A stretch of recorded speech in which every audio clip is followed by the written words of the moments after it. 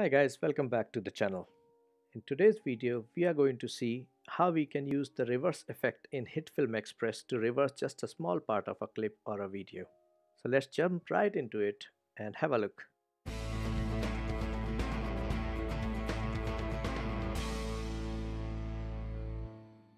So as you can see, I've already imported one clip onto my timeline.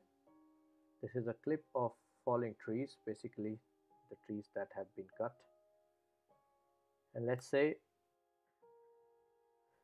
let's say at this point I want to reverse this clip all the way to here where this tree stands up. And then I want it again to fall for whatever reason for narrative purpose for creative purpose for whatever reason. I mean you can use it for any clip. This doesn't have to be just trees. So for that purpose as soon as this tree falls here. At this point let's say I want it to reverse again. So what I have to do?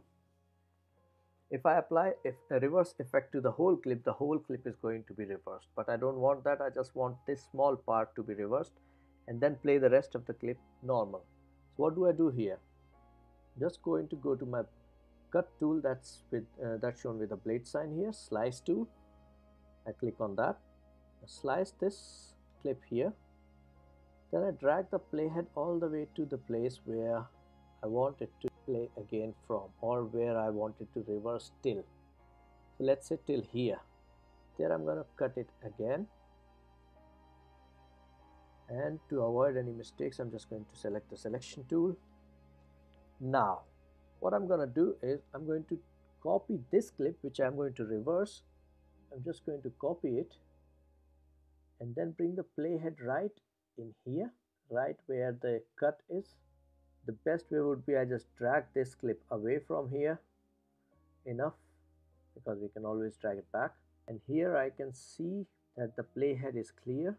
That's the last frame of the previous clip and this is the first frame of the empty space. That's exactly where we want to paste the clip which we want to reverse so I paste it that's the same clip one more time.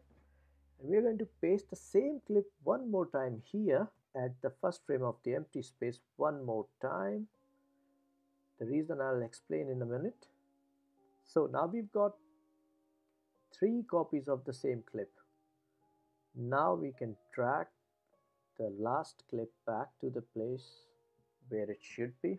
So if we are going to play this clip normal right now it's going to be three times trees falling. Bam bam bam. So this is going to be same thing. So what we're going to do is we are going to simply select this one. Don't even need to select it. Go to the effects panel. I've already typed reverse but just for the sake of showing you one more time. Go to the effects panel. In the search box of the effects just type reverse. You will be shown time reverse.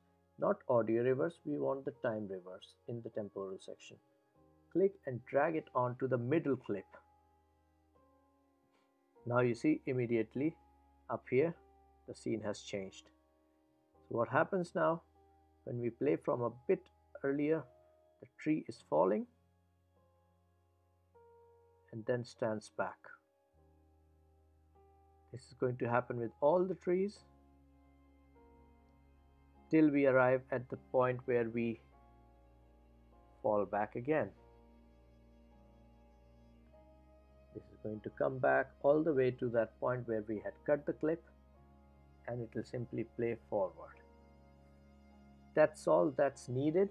This way you can simply play the clip and it will look like as if it has gone from forward, reverse and again forward. If you want that this reverse clip plays a bit faster, you simply right click go up to the speed and duration and increase the speed by whatever you say. Let's say 150 percent. You can even type it 150 click on it and select ok. Now you see the clip has already shortened. Let's see if this goes faster. It's a bit faster since the clip has shortened you've got a space here so you need to drag all the clips back on in place. And now you have normal speed and the reverse is a, bit faster. And then you come back to the normal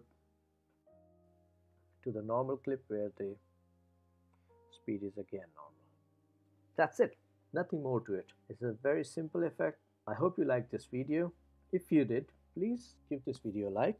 Don't forget to subscribe because at the moment i'm not doing any photography so i'm making these videos. Well and i'll see you in the next video. Bye bye